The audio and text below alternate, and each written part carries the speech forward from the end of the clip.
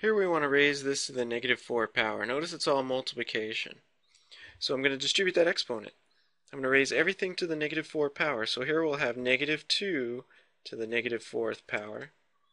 a to the, now power to power like that you multiply. So 3 times negative 4 is negative 12. Okay, b to the negative 2 times negative 4 is positive 8 power. And then c to the 0 times 4, negative 4 is just 0. So c to the 0 power. Okay, so once you have that, you then take care of your negative exponents.